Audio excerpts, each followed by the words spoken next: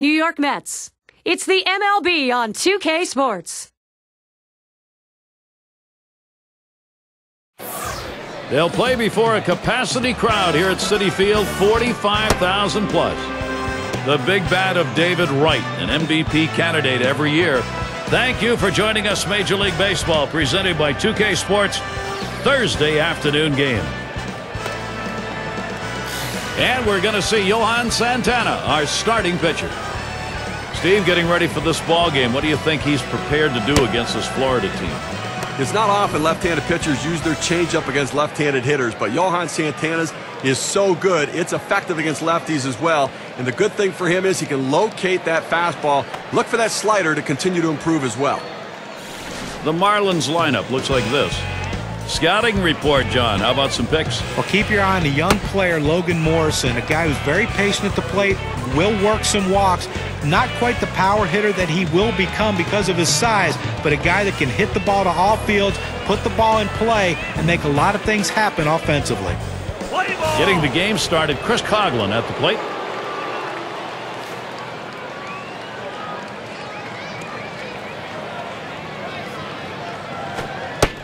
And Santana's wide that time for a ball.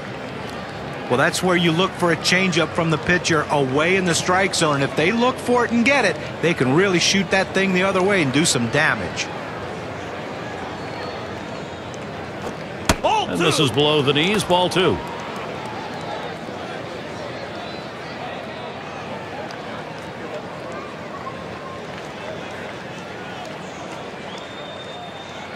Here it comes.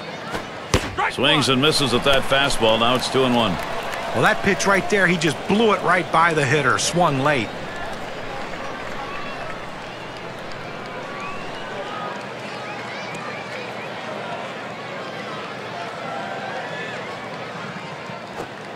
Ugly pitch. Catcher able to somehow scoop that out.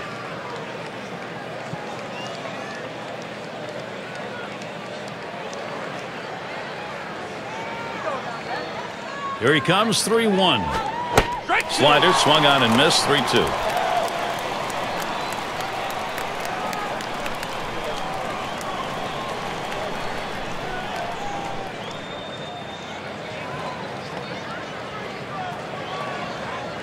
Three two on the way. Here's a swing and a fly ball. A foul ball.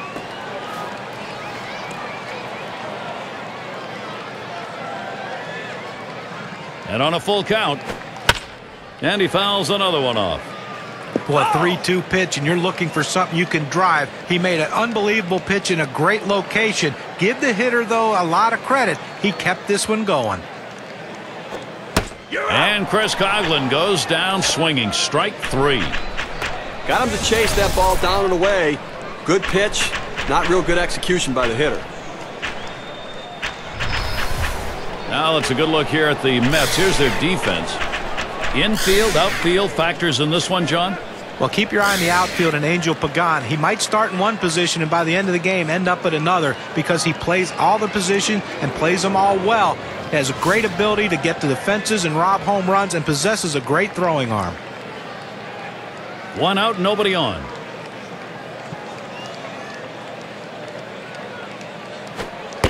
Low pitch from Santana for a ball.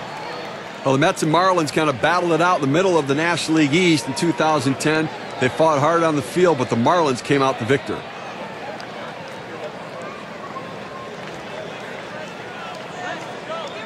The 1-0 now. And the called strike is taken by Infante.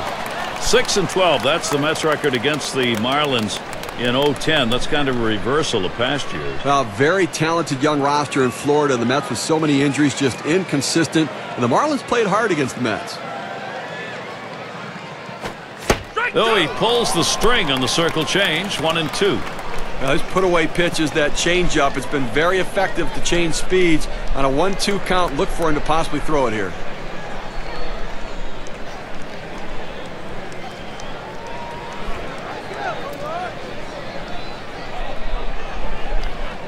The 1 2 from Santana. Ball two.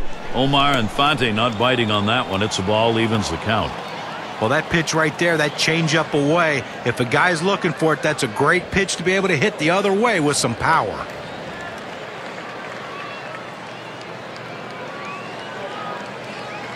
Here's the pitch. Infante hits it on the ground.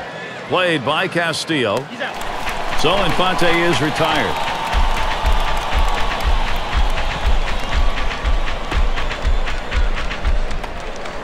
So Hanley Ramirez will try and keep it going. Lifetime only 143 off Johan Santana.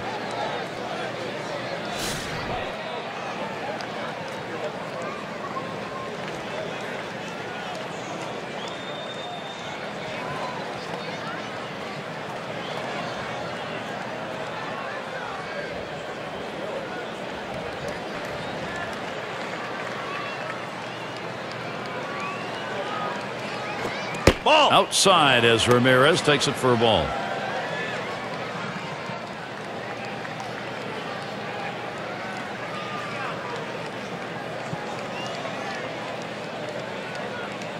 Here's the 1-0 from Santana. Ramirez, ground ball. Out. And he'll step on first to retire the side. And they go quietly offensively in this half inning, nothing across. And the Mets their first chance coming up. We'll take a look at the starting pitcher for Florida. So, Steve, how do you think he'll go about handling these Mets bats today? What makes Josh Johnson effective is everything works off of his fastball. Upper 90s with movement. Then he'll throw a slider breaking the other way to keep the hitters off balance. And then at change speeds, he has exceptional deception on his changeup.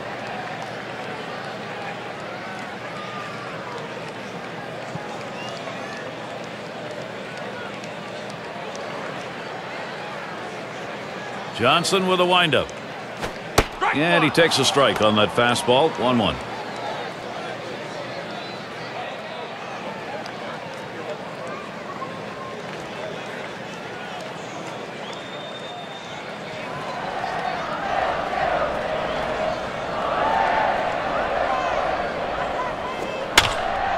Reyes contact and a foul ball.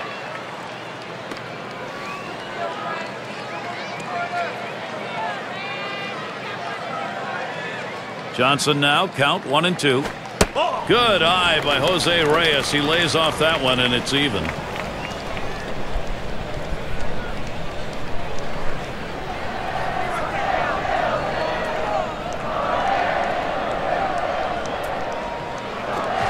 Strike three swung on by Jose Reyes with no contact. Well, two strikes, you have to try to fight off this pitch. You have to think away and adjust in. They went away, but he couldn't make contact. And our scouting report, John, who are we watching for today? Well, you got to take a look at Carlos Beltran. I mean, here's a guy that can hit from both sides of the plate. He hits in the middle of the lineup where he's expected to produce runs, but he's also plays a position that he's expected to take runs away. And that's what he's done throughout his career. One of the best players going in baseball.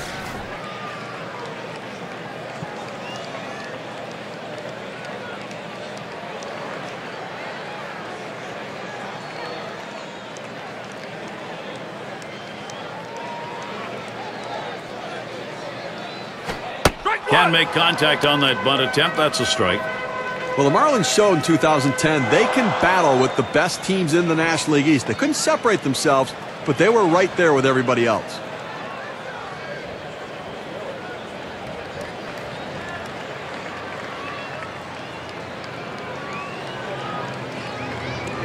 On the way. Pagan hits this one. Infante feels it. So Pagan is retired. Marlins against the East. That's where they've got to win. They were two above 500. Uh, it's interesting, though. They beat up on the Nationals, beat up on the Mets, but they lost 11 out of 18 games against the Braves and 13 out of 18 against the Phillies.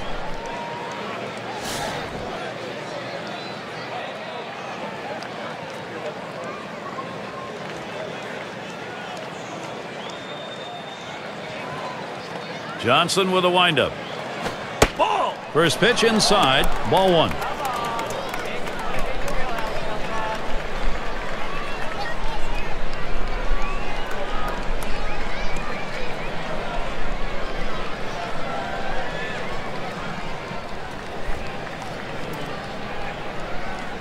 Here's the 1 0.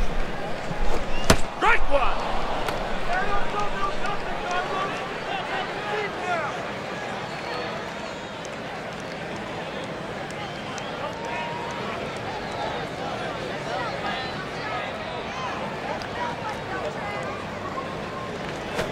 And Beltran makes good contact here. And the Mets get that one in for their first hit of the ballgame.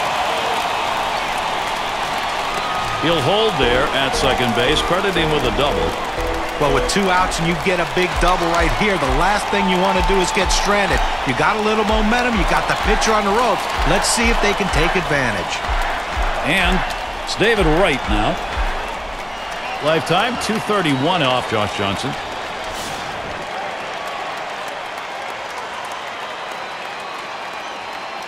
Beltran at second. Johnson with a windup. Starts him out with a slider for a strike. Down, down, down. It's all about location. That breaking ball down in the zone makes it very difficult on the hitter.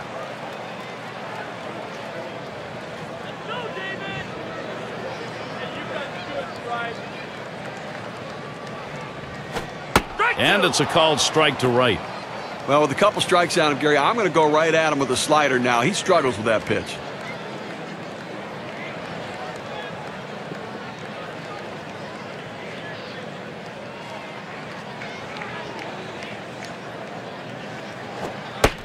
Trying to get him to chase a slider, but it's one and two. When you throw a breaking ball like this, you want to start it on the corner and break it off the zone, trying to get the hitter to chase.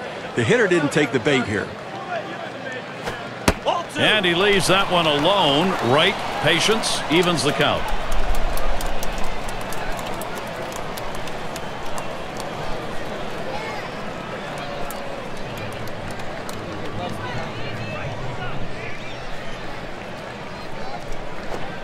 Fastball called. Strike three, and the side is retired.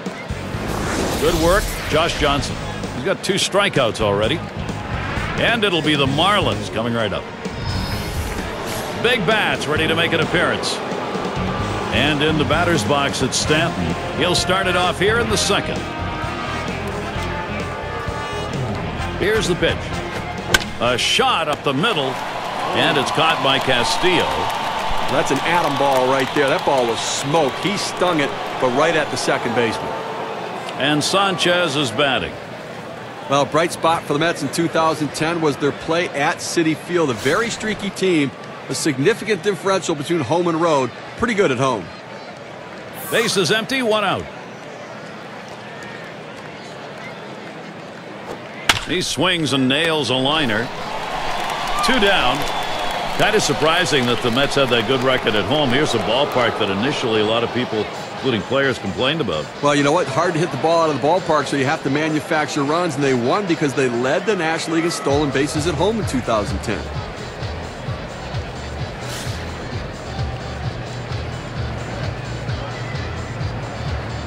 Two outs and nobody on.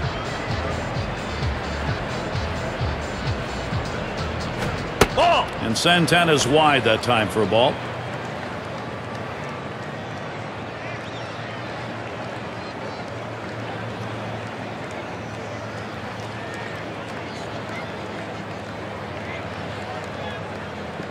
Now the 1-0 pitch. Swing and a miss. Logan Morrison. That'll even the count.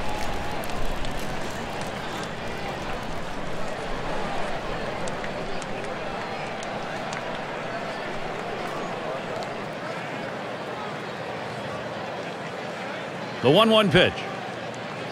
Smash towards the middle. And that one's going to drop in. That's their first hit. So John Buck will come up. Well, with that big two-out hit right there in this inning, you know the managers in there telling him, let's not let him breathe. Let's not let him get that third out. Let's score before this inning's over.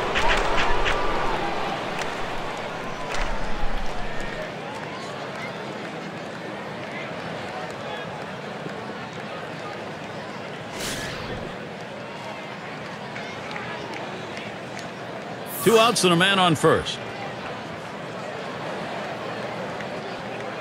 Ball. First pitch fastball misses badly that time. 1 0. Well, they threw that pitch right there down and in just off the plate. Let's see if they come back with another fastball down and away. Ball lifted high in the air, deep down the right field line, and Pagan's there. And so they jump out to the 2-0 lead. Wow, what a great time for a two-run shot like that.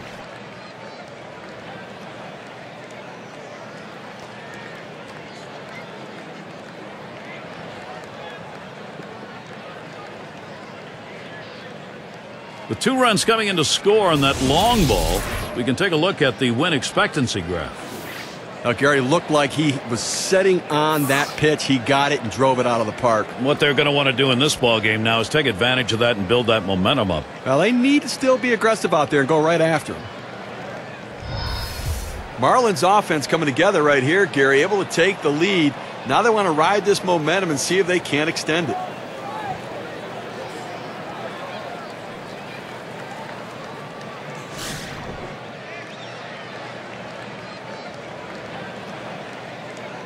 Base is empty and two down. Santana sets and throws. It's now 0-1. Watch that fastball go by. This is a really momentum feel home run. Uh, you get it at this point of the ball game. You add some juice to the whole offense. Well, this could be a decisive moment in the game. I mean, these hits early on could ultimately impact the result at the end of the game. Who tries to frame the circle change, but it's one and one.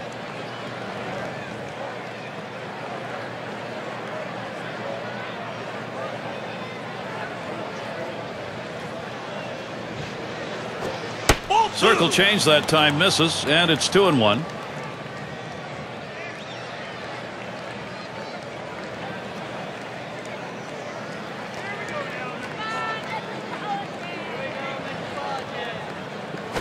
And he lays it down. He'll try to beat it out. Santana throws to first in time. That's three down. And so the scoring came in the second. Second inning sees the first two runs of our ball game. The Marlins lead two to nothing. Middle of the lineup coming along.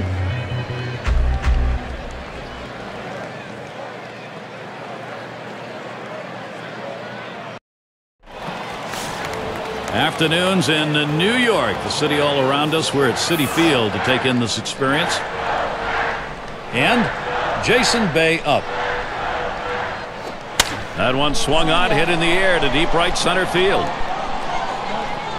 Stanton, there's a good defensive play. Well, they followed the scouting reports. They moved the outfielders back before the play, and they were in exactly the right position to be able to make the catch. Good coaching. Davis into the batter's box.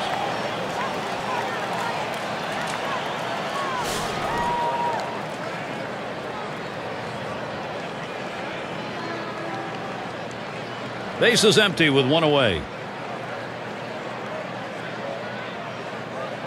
The pitch. Swings, lines this one back up the middle. And that sets down Davis.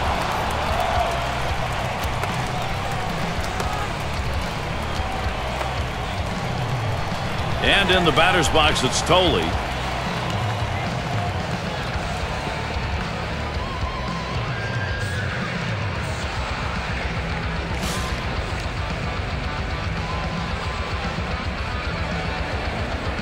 Base is empty with two outs.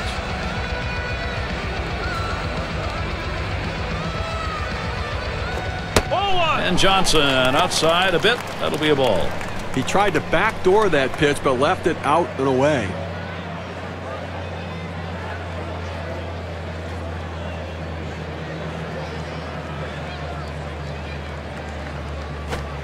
One zero oh is a fastball that runs away to an zero. Well, he doesn't want to fall behind 3-0. He commands his fastball better than any other pitch, so look for him to throw it.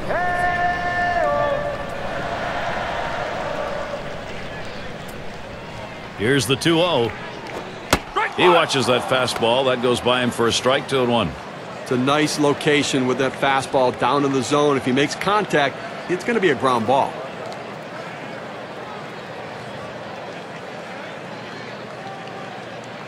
Here's the 2 1. Fastball on the black. He doesn't get the call, though, and it's 3 and 1. Well, that fastball right there just missed, just below the knees. Tell you what, a borderline pitch. I think they wanted that one bad. Let's go, let's go. Into the motion now, the 3 1. 3 1, a fastball that's by him, 3 and 2. The best pitch in baseball is the fastball down and away, and if you can execute it, you can be very effective. That's why he got the swing and the miss. Payoff pitch coming. And he takes that one and misses for ball four.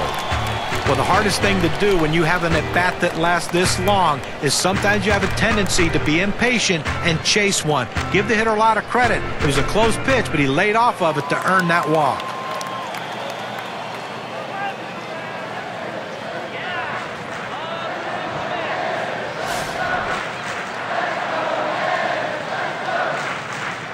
Two outs and a man on first.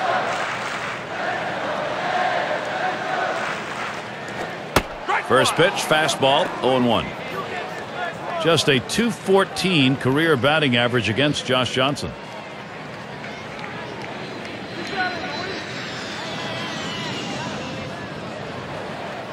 Pitch on the way. Drill towards third.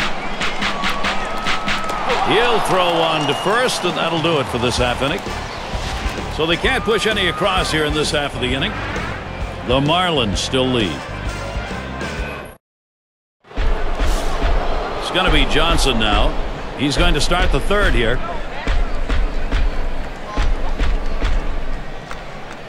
Santana sets and throws. Sliders in there, no balls and a strike.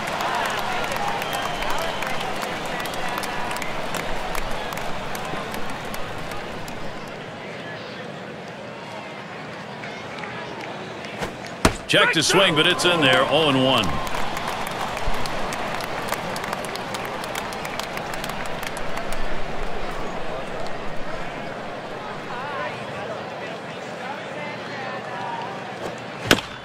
That's a foul ball.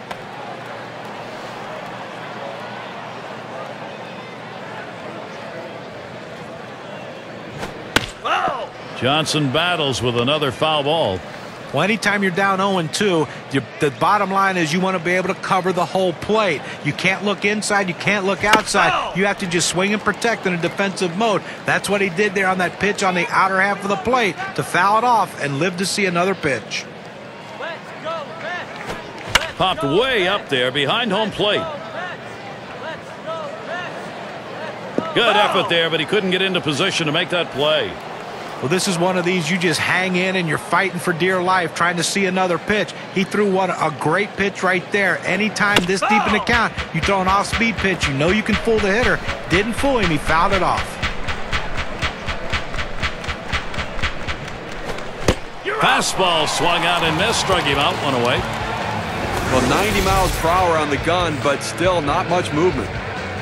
A good job of keeping him guessing by changing speeds out there. And boy, John, you saw the effect of that. That swing, he wasn't even in the same time zone. But going from off speed to a heater like that is never easy, and even guys that make the big bucks have a hard time adjusting. And it's Coghlan batting. Lifetime numbers 313 off the Mets. One out, nobody on. And here's the first one. And Santana's wide that time for a ball. Well, Johan Santana had another effective year in 2010. And you know, people, watching pitch, a fastball and a changeup. That's basically the two pitches he throws, but yet he perfects them and he throws them for strikes and he throws them any time in the count. That's why he's so good. And that one falls in there for a single. That will bring Omar Infante to the plate. John talking about Johan Santana. He finished 11 and 9, had an ERA that was under three. And Steve, uh, he's just very effective with those two pitches John talked about. Well, he is, but it's going to be interesting to see how he comes back this season. Remember, the velocity disparity between the fastball and changeup allows the changeup to be effective. He's had arm problems, and you wonder if that velocity is going to be where it's been in the past. Swung on, hit in the air to right center. Two down.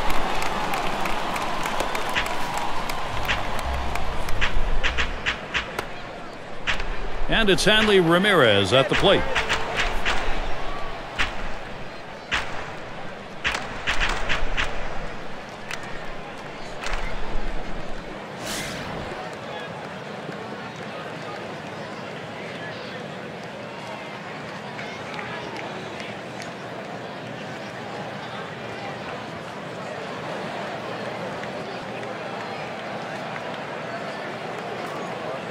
Coghlan on at first base.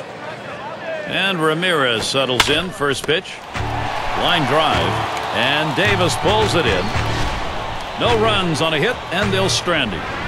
Florida 2. The Mets nothing. Leadoff hitter Scott Hairston.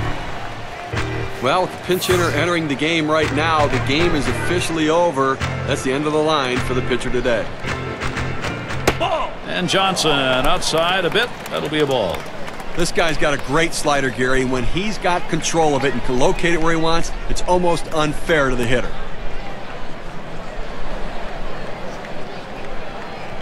One zero on the way. Fastball misses badly. He's behind 2 0. Steve, uh, talking about that pitch and how unfair it is, we'll uh, know how good it is by the number of bats he saws off. Well, he gets so many swings and misses, too, where guys just can't center that ball. So he gets broken bats and swings and misses. He waves at that fastball, 2 and 1. Well, he's going to be aggressive at the plate right here. That's what the numbers indicate. Why not pitch him something off the plate and see if he'll chase it? But you run the risk of a walk later. And he swings and hits this one foul.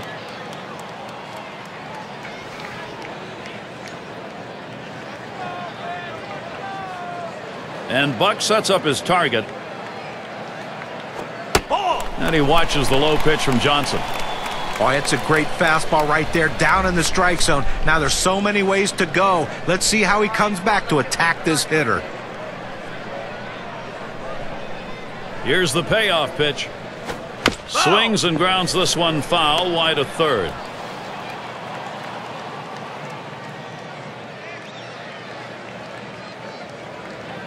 The full count pitch. And he fouls off another one. Well, you have to respect the ability of a guy who's just not giving up in that bat right here. He is grinding it out. That slider, tough pitch. He got just enough of it, though, to stay alive. And he misses on that one. Ouch. Ball four. Leadoff man's on. Well, that's what you want out of a leadoff man in an inning. Get on base any way you can. Great patience at the plate. That's going to bring up Jose Reyes. Struck out swinging last time.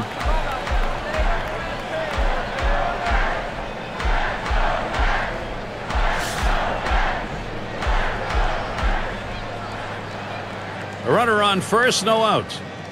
First one to Reyes. Here's the pitch. Ball. And there's the pitch inside from Johnson.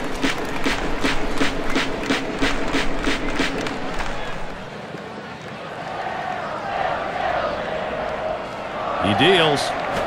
Swung on and ripped towards second. The second, there's one. And Infante's got two. That Keystone area can get a little rough, Steve. Nice turn on the double play. Uh, just the way they draw it up. Great pivot by the shortstop. And it'll be Pagan standing in to hit. Batting 250 lifetime, 3 for 12 record against Johnson.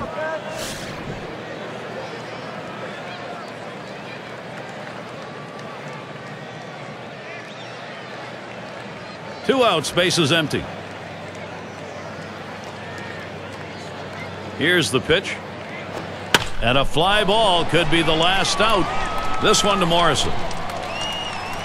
That's going to be a wrap. Final out of the ball game. Fans going home unhappy in this one. Their offense just did not get it done as the opposing pitching just shut them down. Wow. All right, here we go. It's that time. Uh, we're going to take a look now at our player of the game. Josh Johnson really pitched well today. Well, any starting pitcher will tell you that the last thing he wants to ever have to do is to turn the game over to the bullpen. They like to finish what they start, and that's exactly what he did today. He had all his pitches working, and he had complete command of the strike zone out there. He kept his lineup in check for the entire game and finished it strong. It was a shutout. They mustered only a couple of runs, but they didn't need any more. Well, it was all about pitching in this one, and the bats just weren't there today as the pitchers dominated the game. So glad you could join us. For Steve Phillips and John Kruk, I'm Gary Thorne. We'll see you real soon.